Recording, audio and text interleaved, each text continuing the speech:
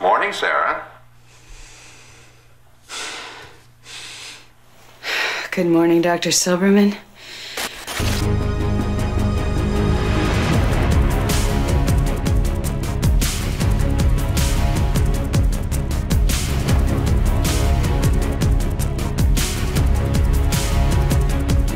Linda Hamilton is an American film, theater, and television actress.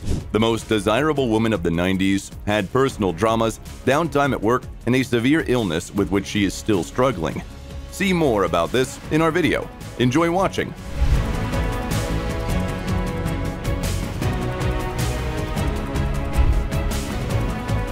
Linda Hamilton, how Sarah Connor from The Terminator lives and how much she earns. Linda Carol Hamilton was born on September 26, 1956, in the American city of Salisbury, Maryland. The girl's father, Carroll Stanford Hamilton, was a doctor. He died in a car accident when she was five years old. Her mother, Barbara Kyle Holt, later married the local police chief. Linda has an older sister, Laura, and a younger brother, Ford. She also had a twin sister, Leslie, who died in August 2020. With age, they became friends, but in childhood, the future star did everything to be different from Leslie. She changed haircuts, dyed her hair in different colors, and dressed in boys' clothes. By the way, as a child, our hero didn't dream of becoming an actress. She wanted to be a firefighter or an archaeologist. Later in life, the celebrity said she grew up in a very boring white Anglo Saxon family and read books avidly in her spare time. And yet, she liked to go on stage in amateur school productions with her twin sister. The girls attended the Wicomico High School in Salisbury. At that time, the rebellious Linda still struggled with her desire to be different from Leslie. Out of desperation, she lost control and started comforting herself with food. She ended up weighing around 175 pounds. After high school, she studied for two years at Washington College in Chestertown, where she attended a theater program. An acting teacher told our young hero she had no chance of succeeding as an actress, but these words did not discourage the girl from continuing to develop in this direction. She went to New York, where she attended workshops of the famous master and actor Lee Strasberg at his studio. After graduation, she moved to California and started acting in low budget series. Her mental health remained unstable at the time. Overcome by depression, she did not go to therapy but suppressed the disease with alcohol and even prohibited substances. However, it did not prevent her from making her professional debut at 23, playing a small role in the 1979 drama Night Flowers. In 1980, Linda appeared in an episode of the NBC series Shirley and starred in the TV films Reunion and Rape and Marriage The Rideout Case. From December 1980 to January 1981, she played the role of Lisa Rogers in the CBS soap opera Secrets of Midland Heights. In 1982, she starred in the low-budget thriller Tag the Assassination Game, where she played the lead role alongside Robert Carradine. Safe. It's a game. Got that? Yeah. The film also starred Bruce Abbott, who became the husband of our hero in the same year. A few years earlier, Linda had been diagnosed with depression and bipolar disorder. With time, her condition led to sudden mood swings and anxious thoughts. She did not even talk to her husband for a year and threw tantrums, suspecting him of infidelity. The situation worsened after a miscarriage in the early stages of pregnancy. Meanwhile, the actress starred in the TV movie Country Gold and the TV series King's Crossing, which allowed her to become one of the most promising new actors of the year. Soon, the filmography of the aspiring actress was enriched by the TV films Wishman and Secrets of a Mother and Daughter. In 1984, Hamilton starred in the horror Children of the Corn. In the film, based on the short story of the same name by Stephen King, the actress played Vicky Baxter, who got into trouble while traveling with her boyfriend in the countryside. Jesus Christ. Not in my book. It's like some sort of primitive folk art. I think it's repulsive. They wanted to create an authentic vibe, so almost all the filming was done in real cornfields. They used props only in some scenes. The film became financially profitable, grossing $14 million and exceeding the budget. However, it received mostly negative reviews from critics. Linda also appeared in the drama The Stone Boy, which starred Robert Duvall and Glenn Close. Later, with Arnold Schwarzenegger and Michael Biehn, she played in James Cameron's movie The Terminator. At that time, Linda was working on several minor roles, so she wasn't sure whether to take on another project, especially since the science fiction genre was not her favorite. But Cameron insisted on auditioning because the young actress was perfect for this role. As a result, she played Sarah Connor, a young waitress and the future mother of a valiant resistance leader who finds herself in the epicenter of a nightmarish ordeal. You're talking about things that I haven't done yet in the past tense. It's driving me crazy. Before the filming began, the actress broke her ankle, so she had to bandage her leg tightly to shoot the scenes. The film became an unexpected commercial hit, topping the US box office for two weeks. Critics considered the movie an excellent example of the genre, partially attributing the success to Hamilton's acting skills. For this role, she received a nomination for the Saturn Award in 1985. Moreover, in 2008, the Library of Congress included it in its list of films recognized as the United States Cultural Heritage. Meanwhile, the audience saw our hero in four episodes of the NBC police drama Hill Street Blues. In 1985, Linda appeared in the TV film Secret Weapons. And Zara told us not to speak to anyone. It could have been KGB. You're not in Moscow five minutes and already playing with fire. I know. I'm wicked. Then, Linda appeared in the image of a car thief named Nina in the 1986 sci-fi thriller Black Moon Rising. In the same year, she played the lead role in the TV drama Club Med, appeared in an episode of the popular crime series Murder, She Wrote, and starred in the high-budget adventure film King Kong Lives, the sequel to the 1976 King Kong. Hello, Kong. Welcome back. Despite the advertising campaign, the sequel, crushed by critics, was a box office failure. At the same time, it became one of the highest grossing foreign films of the 1980s in the Soviet Union. Hamilton's next prominent role was as District Attorney Catherine Chandler in the TV series Beauty and the Beast, where she starred with her good friend Ron Perlman. In two episodes, Linda worked with her husband, Bruce Abbott. I owe you everything. Everything. Oh, Owe me nothing. I'm part of you, Catherine. The series, a modern retelling of a classic fairy tale, was broadcast on the CBS channel for three seasons from 1987 to 1990. But by the third season, the actress was pregnant and asked to be excluded from the project, and the creators had to change the storyline urgently. Linda's leaving the series decreased viewer interest and led to a sharp drop in ratings, which is why it was cancelled. This role brought our hero nominations for an Emmy and two Golden Globes in 1988 and 1989.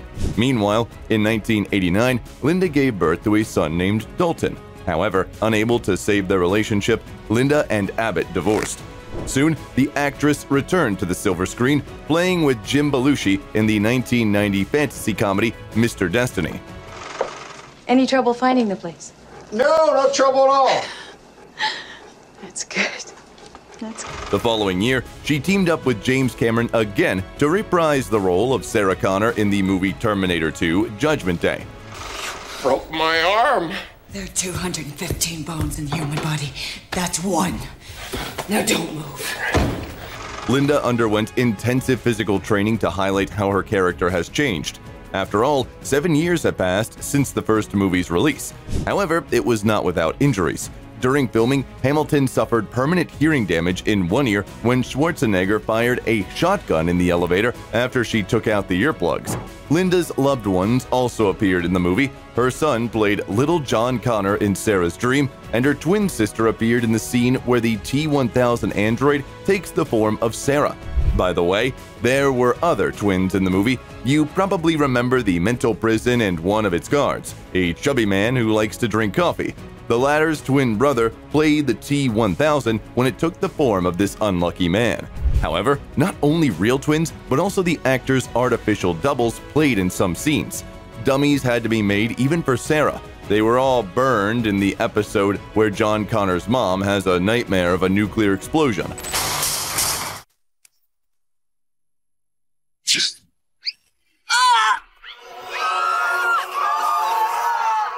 For the role of Sarah Connor, recognized as one of the most iconic female roles in cinema history, Hamilton earned $1 million. The picture has grossed a worldwide total of over $500 million with a budget of $102 million.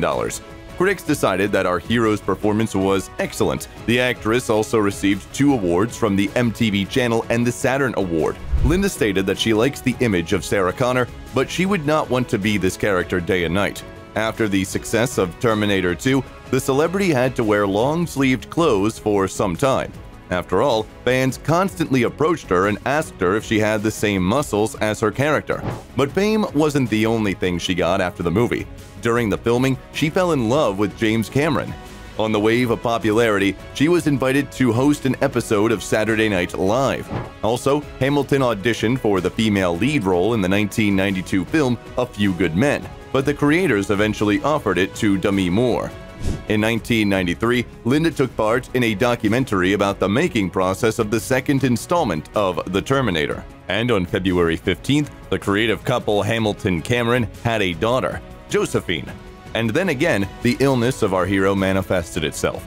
During the postpartum depression, she had panic attacks and obsessions about her husband's infidelity.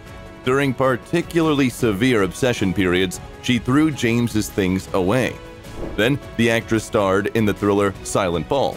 Later, in 1995, the audience saw Linda in the lead role alongside James Belushi in the psychological thriller Separate Lives.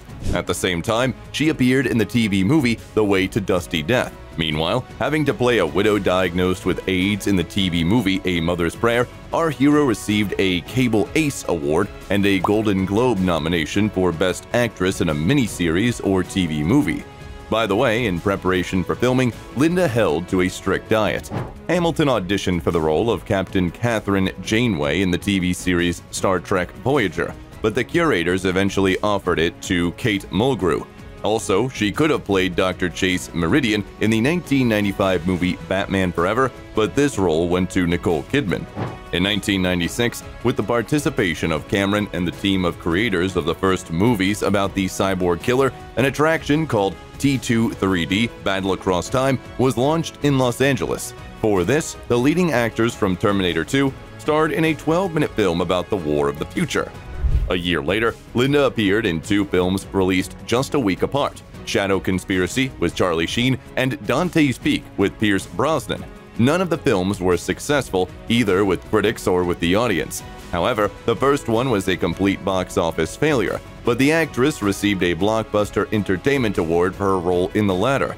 In 1997, she married James Cameron, who, at the time, was working on Titanic. The director offered his wife the role of socialite Molly Brown, but she refused. In the end, Kathy Bates played this role.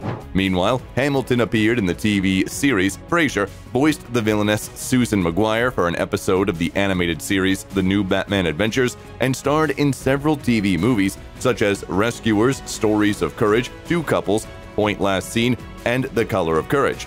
All of them were based on real events, and the role in the latter brought the actress the Satellite Award for Best Actress. In 1999, our hero suffered another personal drama a divorce from James Cameron. There is a rumor that this happened after Linda discovered that her second husband had an affair with actress Suzy Amis while filming Titanic. According to reports, the divorce process of the star couple was one of the most expensive in Hollywood. But parting with her beloved man brought Linda not only $50 million, which allowed her to live a comfortable life, but also a lot of pain. She said she had deep feelings for James, but she also always suspected that he fell in love with her character, Sarah Connor, and not with her, because they are very different. James confirmed this suspicion. He said, I fell in love with her because I thought she was a little closer to Sarah than she is. As it turned out later, their divorce was not peaceful and left the woman emotionally devastated for many years. In the future, Hamilton was actively engaged in voice acting. She voiced the characters in the superhero animation movie Batman Beyond, an episode of the animated series of the same name, and two episodes of the adventure series Hercules. She also appeared in the lead role in the comedy drama The Secret Life of Girls. In 2000, Hamilton appeared in the comedy drama Sex and Miss X, voiced her character in three episodes of the adventure animated series Buzz Lightyear of Star Command, and headlined a production of Laura on California's Tiffany Theater stage. In 2001, she co-starred with Treat Williams in the drama thriller Skeletons in the Closet, subsequently receiving an exclusive DVD award for Best Supporting Actress. You know what I think? No, what?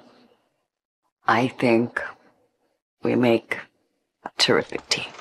In addition, she appeared in the TV series A Girl Thing and in the adventure film Bailey's Mistake as part of the television project The Wonderful World of Disney. Then, the actress starred in the lead role in the war drama Silent Night. For the next two years, she was on a break from acting. Still, she appeared in several short films. In 2003, Arnold Schwarzenegger walked back into Linda's life. However, this time he did it not as an actor, but as a politician. Even though Hamilton calls herself a Democrat, during the election of the governor of California, she gave her vote to the Republican candidate, the lead actor from The Terminator. The performer of the role of Sarah Connor said that she did it because Schwarzenegger's election campaign convinced her that he was suitable for this job. She also explained that she respects her colleague very much for his balanced approach, incredible drive, and the fact that he is not involved in politics for personal purposes. In turn, Arnold Schwarzenegger admitted that Linda Hamilton is his best shooting partner and close friend. By the way, around that time, she refused to participate in Terminator 3 Rise of the Machines because she was dissatisfied with the script and did not want to remain a one role actress. In 2004, Linda became a guest on The Oprah Winfrey Show. During the conversation, the topic of celebrity relationships came up. In particular, she said she insulted her first spouse and once splashed a glass of water in his face. In the same interview, the actress publicly apologized to Bruce for making him unhappy because he was intimidated by her. Linda admitted that thanks to the children, she realized that she needed the professional help of doctors. It took her a long time to get back to normal life. She was taking medications that helped her fight against depression for 10 years. Meanwhile, her filmography was enriched by the adventure movie Smile, the war drama Missing in America, the comedy The Kid and I, and an episode of the sitcom According to Jim, where James Belushi played the lead role. Wow. Either someone really needs a drink or someone's really insecure about their marriage. 2006 brought our hero roles in the miniseries Thief, a low-rated drama Broken, and the family drama Home by Christmas. Also played in the production of The Night of the Iguana, critics praised her work in this play, which took place on the stage of the Berkshire Theater. In 2008, the actress starred in the indie movie In Your Dreams. In 2009, the audience saw Terminator Salvation. Linda did not star in the fourth installment, but voiced Sarah Connor in the flashback. In addition, she starred in the TV series The Line and the crime comedy Holy Water. Then, the actress voiced the character of the short animation film DC Showcase Jonah Hex, released as a bonus on DVD. Her voice was also heard in the short animation movie Superman and Shazam The Return of Black Adam. In addition, Hamilton fans have seen her in three episodes of the series Weeds and the drama Refuge. Another project was the TV series Chuck, in which Linda starred from 2010 to 2012. That I was a mother. So I did the only thing I could. I admitted I was CIA and I told Volkov I wanted to join him. I broke all ties with the agency and I went to work for MI6. In 2013, our hero starred in the thriller Bad Behavior, two episodes of the miniseries Air Force One is Down, and began working in the TV series Lost Girl, appearing in three episodes until 2015. In 2014, Hamilton played in the comedy horror Bermuda Tentacles with Trevor Donovan and singer Mya. The audience also saw our hero in the science fiction series Defiance, released in 2014 to 15. Come on, where would I run to? We're in the middle of nowhere. I know you want to kill me. Mom. Excuse me? In 2016, the actress starred in the sports movie A Sunday Horse. The following year, she won the award for Best Actress in the short film Shoot Me Nicely at the Williamsburg Independent Film Festival and performed one of the lead roles in the sci fi thriller Curvature. You want some tea? Scratch that. I have some whiskey. Sound better? Much. In 2019, Sarah Connor, Linda's character from the iconic Terminator, appeared in the final version of the video game Gears 5. She also starred in the crime comedy film Easy Does It, for which she was named Best Actress at the LA Crime and Horror Film Festival. In the same year, after almost three decades spent trying to get rid of the shadow of Sarah Connor, the actress finally reprised this role in the action movie Terminator Dark Fate. Who's trying to track you? I'm wanted in a couple of states. 50, actually. Before the film's release, she gave a big interview to the New York Times in which she said that after the second divorce, she had been celibate for at least 15 years because intimacy did not matter to her. I have a very romantic relationship with my world every day and the people who are in it, the Terminator star said about her life.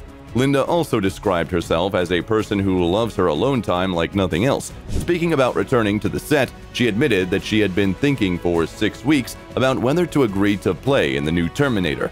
Linda didn't want to leave her comfort zone, having exchanged her peaceful and quiet life for numerous appearances on red carpets and press conferences. However, as soon as she saw Arnie on the set, she thought, I'm in. During the filming, she had to learn how to shoot a rocket launcher and return to combat form. She trained in the desert with the Green Berets, U.S. Army Special Forces. Doctors prescribed her dietary supplements and bioidentical hormones to build muscles. According to the actress, filming was difficult. We had ear infections from being in the water for three weeks, and then they'd hang us upside down, the star complained in an interview. However, she wanted to perform most of the tricks herself. Her efforts were not in vain. For her role, the actress received a nomination for the Saturn Award. After the filming ended, Linda spent three months on the couch eating pies.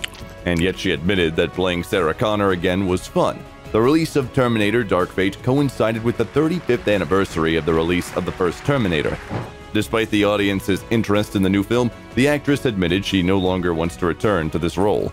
In 2020, she took part in voicing a character in an episode of the comedy animated series Big City Greens, and in the next two years, she starred in the TV series Klaus and Resident Alien.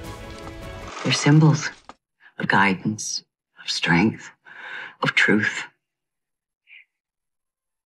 That's what I am interested in the truth. On June 23, it was announced that Linda Hamilton will join the cast of her favorite detective horror series from Netflix, Stranger Things. Scheduled for release in 2024, it will be the fifth and final season. The details related to the character of our hero are still a mystery. The celebrity's net worth is $70 million. In 2012, she paid $998,000 for a property in Virginia. The farmhouse, partially clapboarded, has an area of 4,600 square feet Numerous farm outbuildings include a barn built in the 1850s with plumbing and electricity, a historic smithy, a barn for three stalls, and a separate garage with a workshop.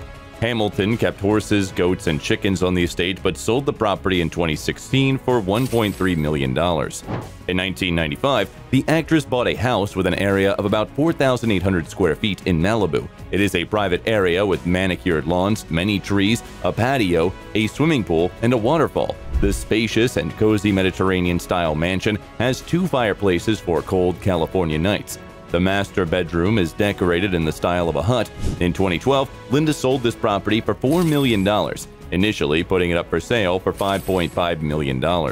Fun fact, the actress has a tattoo on her waist with the coordinates of this villa. Previously, she owned several houses in Los Angeles, and the media wrote that she has an ocean view property near Sarasota, Florida, bought in 2003 for $850,000. Now, the celebrity lives in New Orleans. Linda spends weekdays with her pets, dogs Turk and Noodle, in a cozy two story townhouse with vintage furniture and walls decorated with paintings and portraits. Linda Hamilton had a more successful career on television than on the silver screen. However, she remains an unconquerable and beautiful Sarah Connor in our hearts, right? Interview's over. We gotta move. If you liked the video, leave a like and subscribe to the channel so you don't miss anything interesting.